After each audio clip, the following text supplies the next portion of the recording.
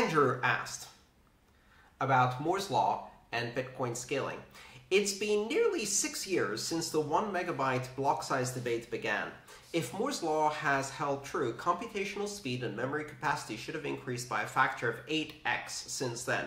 Accordingly, do you think decentralization would be compromised by increasing the block size limit from 1 megabyte to 8 megabyte? Can the average node now handle an 8 megabyte block as easily as it could a 1 megabyte block in 2013?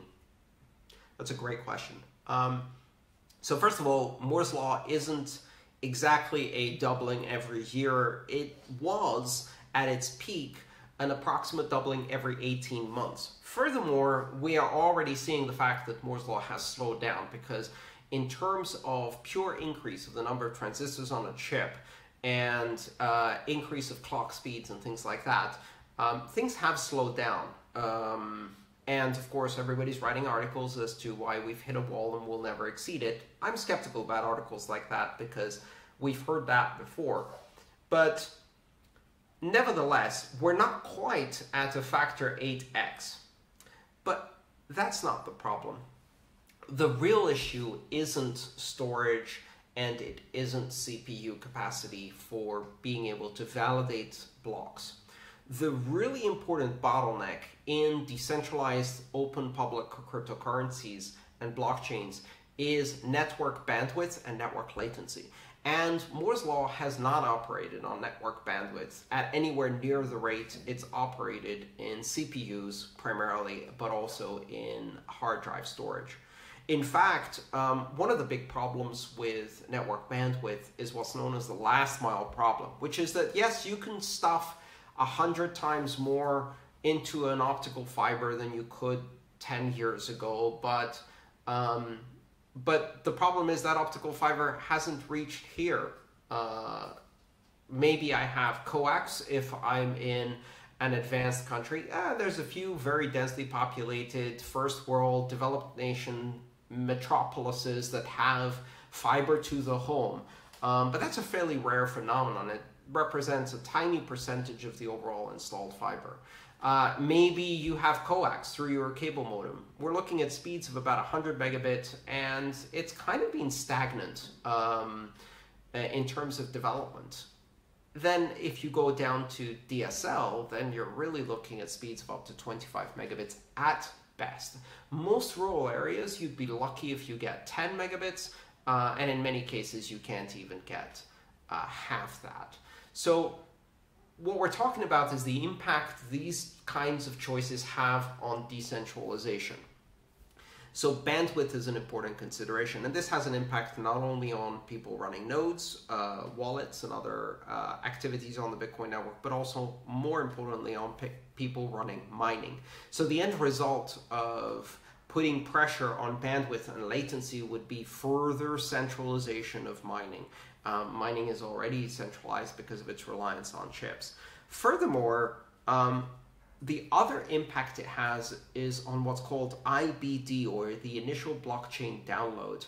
And the initial blockchain download is when you start a node completely fresh with no reference to anything other than a single hash of the Genesis block and you try to bootstrap it to get the entire blockchain bootstrapped off the Genesis block, which means that you have to download the entire blockchain um, not only download it, but then validate every transaction in every block from the beginning while simultaneously changing the rules as you go along, as the consensus rules have evolved. Essentially, what these nodes are doing is they're going back in time to January 3rd, 2009, and they're replaying history as if it's happening in real time as fast as possible. Now, that initial blockchain download time takes at best about six hours on a really, really, really powerful machine um, with very good bandwidth and uh, able to download 250 gigs uh, at this point in Bitcoin.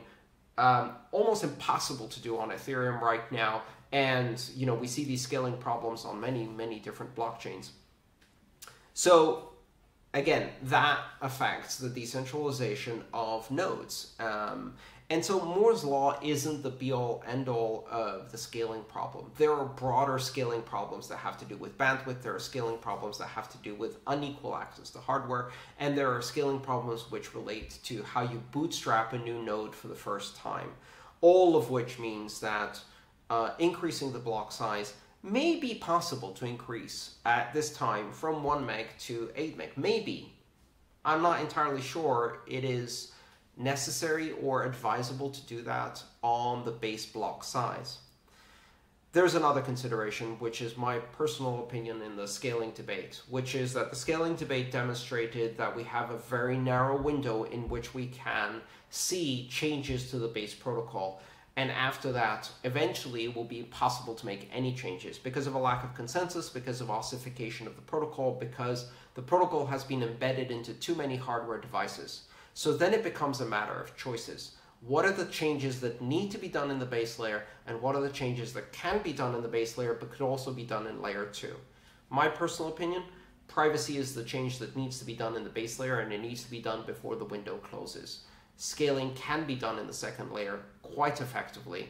And we will also need some scaling on the base layer in order to support even more scaling on the second layer, but our real focus right now should be privacy, not increasing the block size further. That's just my personal opinion. So uh, after the recent uh, bug, there's been some calls for uh, a more rapid ossification of the Bitcoin protocol, mm-hmm. and I'd like to hear your thoughts about that, and also in the context of, you know, if Bitcoin really succeeds, eventually there'll be pressure on developers to influence the protocol as well. Uh huh. Well, it's a good thing they're not in charge.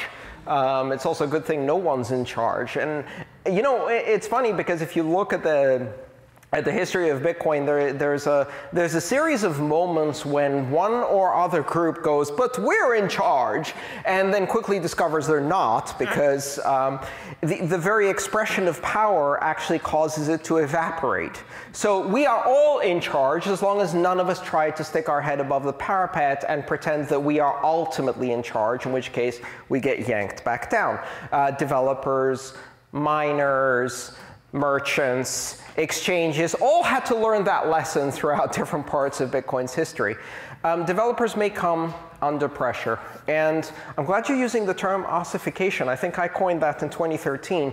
Um, we are going to see, like every other protocol, like every other technology, you know, TCP IP got stuck in IP version 4, and then we said, oh, that's okay, we'll just upgrade everything to IPv6. 19 years later, it's happening any moment now. We're still 40%, uh, we're growing. Um, this is going to happen to any protocol. So the question is not whether it will happen or even when it will happen. My most important question is what can we put into the protocol before it happens? Uh, and to that, the answer is privacy. So uh, I've been saying this now for three years, and in fact, at some point, I was really concerned about scalability, and then I changed my mind. And part of the reason I changed my mind is because I realized the debate over scalability showed that ossification was already happening we were unable to get agreement on a hard fork that changed the core protocol. The fact that we were unable to get agreement on that meant that we were probably going to get unable to get agreement on other things, which meant that ossification was already setting in. And at that point, to me, privacy became the biggest urgency and scalability became a second importance because you can solve scalability at layer two, you can't fix privacy at layer two. Quick question about uh, Bitcoin's anonymity. Yes. Will that, will that issue be resolved on layer two? Um, I hope not. It's a really good question. So a lot of people think Bitcoin is anonymous. It is not anonymous. It is loosely pseudonymous, which means that if you expend an enormous amount of effort on operational security and you do it very carefully and very well, you may retain anonymity for a limited period of time. That doesn't sound like a good thing, right? Now, um, anonymity is a very touchy subject. Um, to many people, the idea of money being spent anonymous is a terrifying possibility, a possibility that will surely mean the end of our civilization. Of course, the first form of peer-to-peer -peer anonymous untraceable money has existed now for 5,000 years. It's called cash. Uh, it was completely peer-to-peer, completely anonymous, completely fungible, unforgeable, and self-verifying. And civilization didn't come to an end. In fact, the idea of surveillance on all forms of money is a relatively recent idea. It was born in 1971 um, under the Bank Secrecy Act signed by President Nixon, who we thought was going to be the worst president ever.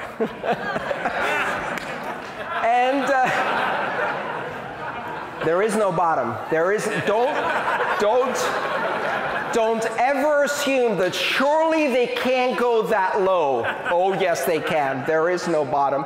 And then that dream started in 1971 and it died on January 3rd, 2009. Not immediately, but we put the first nail in that coffin.